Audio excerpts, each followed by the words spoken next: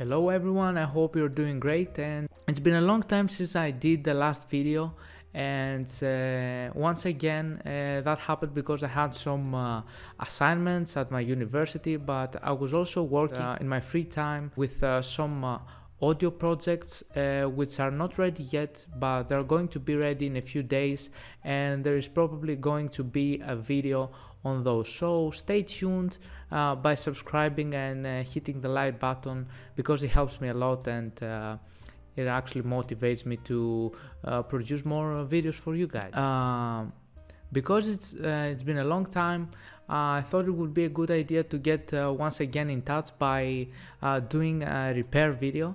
And as you see in front of me I've got uh, an amplifier. And actually this amplifier is laying around at my house for quite a long time. And uh, I actually found this amplifier inside the recycling bin and I got it because I thought it would be a good idea just to open it and see what's going on inside, how all the things are laid inside and just to have it for parts. But uh, I actually thought why not uh, try to see what's the problem and try to fix it.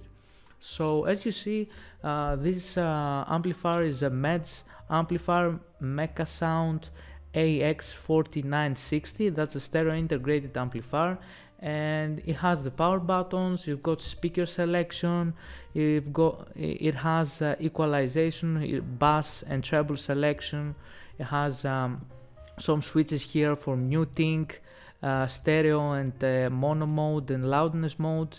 It also has uh, multiple inputs for auxiliary phono tuner recording and tape.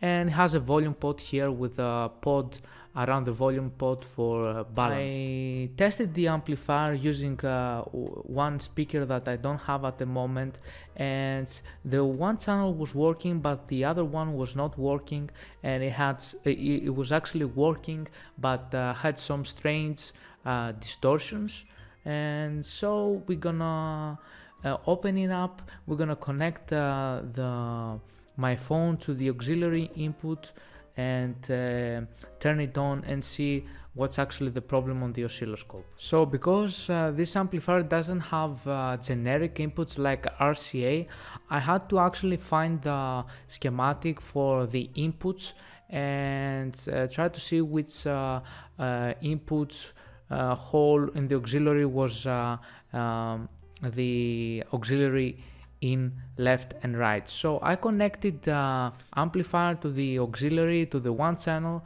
and I'm gonna use the mono mode uh, so I can have one channel in uh, both amplifier channels. So we're gonna open it up and uh, check uh, uh, the outputs with the oscilloscope.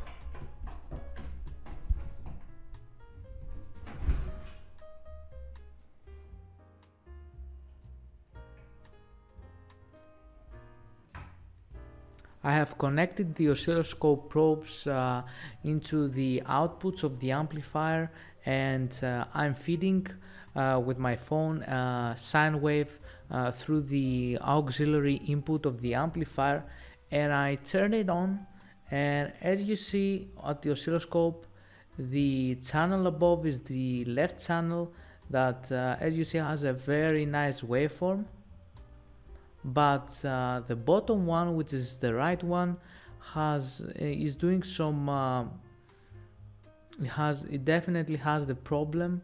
And as you see here uh, the sine wave is uh, uh, is not fine. And as I increase the volume uh, is getting worse. as you see I'm gonna turn the bar balance to the right to the right to the left channel.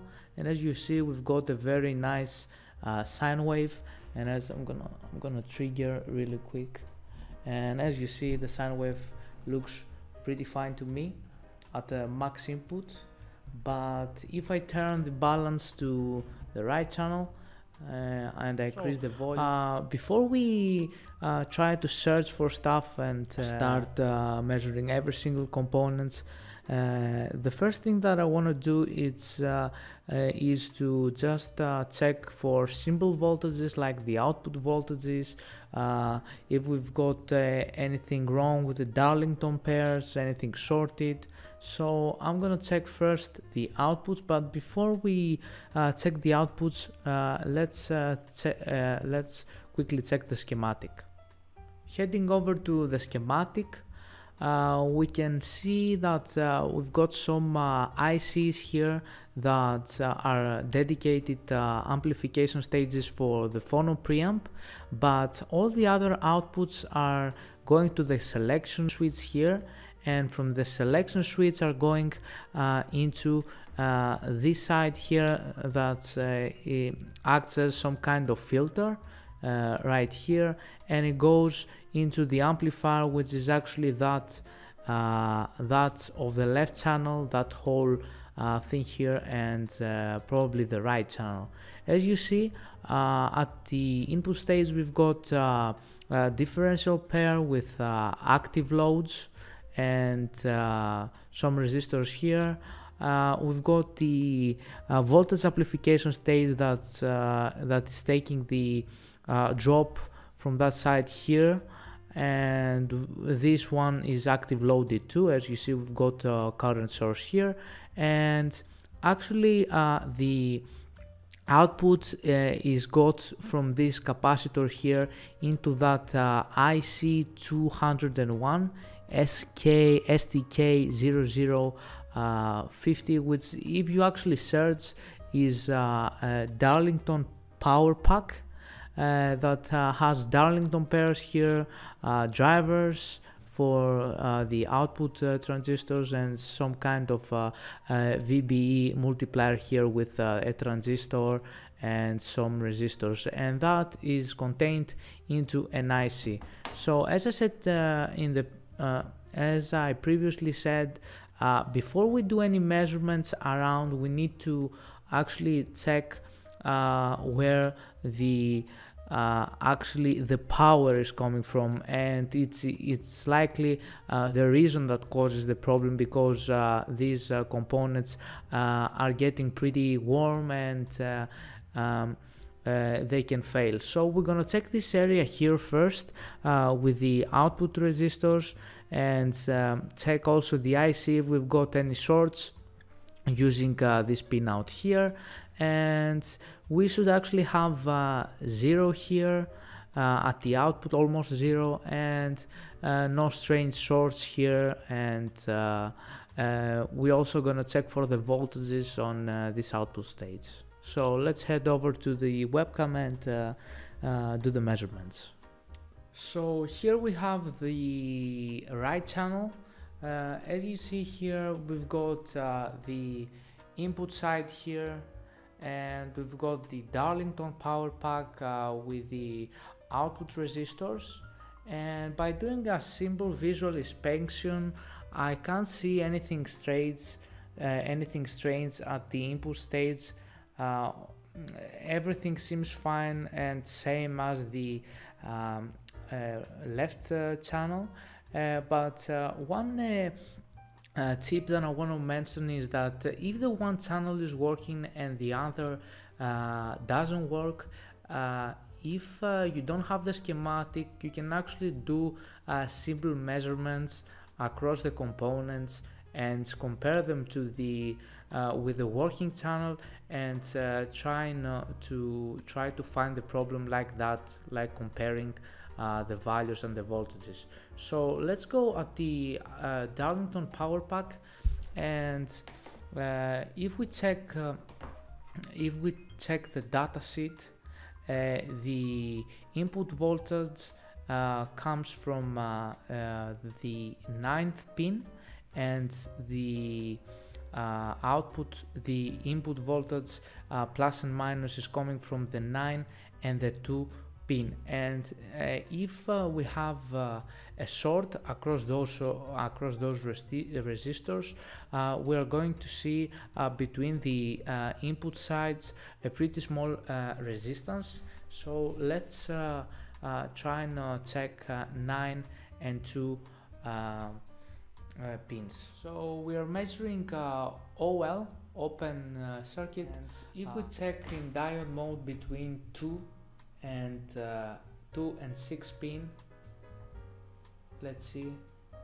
We get uh, a voltage drop and we actually don't have uh, the outputs uh, the voltage inputs uh, sorted uh, in the Darlington uh, power pack so let's uh, turn on the amplifier and quickly check for voltages.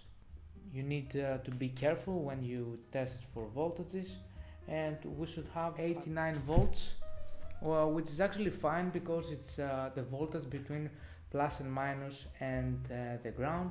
So we don't have uh, any the problem output that. side in this uh, resistor uh, we should have uh, 0 volts let's check. Oh we don't have 0 volts. And this one? Oh, this is minus 10 volts. Okay. This is not this is not uh, fine for sure. Uh, we should have a small drop between those two which we actually don't have. We've got 10 volts of drop here which is actually pretty a lot comparing it with the resistance here that we've got uh, two uh, series resistances uh, point 47 as I see here. So let's turn off the amplifier and check the resistance. Let's switch to resistance. We should have like point point something resistance here. Yeah we have. We have on the one side like 0.58 yep. And the other one let's see oh the other one is zero which is actually fine. So uh, this um, uh, two resistor series the three pin device is probably broken.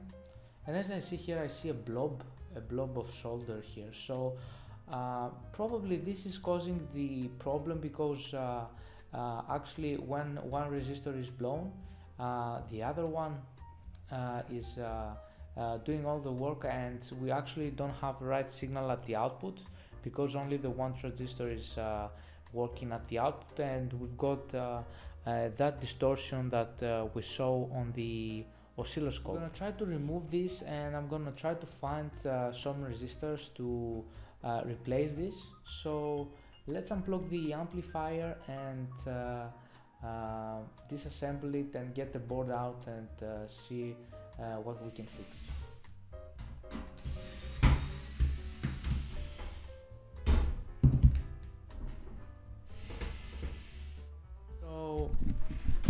In the start, uh, I thought it would be a pain in the ass to get the board out because it had so many screws, it had layers of metal. But as I was uh, uh, removing the plates here, I saw this plate uh, that actually covers the whole boards uh, beneath beneath it, and it actually gives you full access under the board. So this is very handy. So if I check back at the outputs, uh, the the right channel. That uh, was burned is probably those those three pins right here. So we're gonna uh, turn on the the soldering iron and, and uh, remove this uh, device here and try to see if I have any replacements uh, 0.4 0.4 ohm resistors the idea that I have is to just cut this resistor and push the wires from the other side. So let's try to cut. So there we go. I removed the device as you see here the board uh, looks pretty fine. I have some shorts here that there are strange but uh, we're gonna uh, we're gonna figure this out too. We're gonna clean it. Oh that actually melts pretty easy. So oh there we go. There we go actually has a lot of yep the last one is removed. So let's clean with the braid. I've got these holes cleaned up here. There we go. This is cleaned up. Five pins. Let's check. We've got five pins here and these two are connected. So it was fine so unfortunately OBS uh, decided not to work and I was recording the whole process of uh, uh, changing the resistors. Uh, I actually found some resistors 0.47 resistors that I had. Uh, and the thing I did I open up the hole so I can fit uh, two of them at, at, the common hole. And I actually desoldered and wicked the holes and cleaned the pads and I added the new resistors as I'm gonna show you right now. Actually changed the resistors these two resistors and now we've got uh, the right resistors as the common component here. And I'm so sorry for that uh, OBS crashed so the next thing that we're going to do is uh, to power up the amplifier and uh, check the outputs again with the uh, signal input and see if anything changed. So if it didn't change we probably have another problem somewhere else but we're gonna be careful so we don't burn up this uh, these resistors here. Back like at the start we are feeding the sound wave with the phone out the input and I have uh, uh, the probes at the outputs of the uh, um, of the Darlington pairs. So let's power up. I've got the volume turned all the way down so we don't have any pops. So oh look at that. Now we've got a nice signal. The bottom is nice which is actually the the uh, the channel that we repaired so let's let's see here what offsets we have. Oh something popped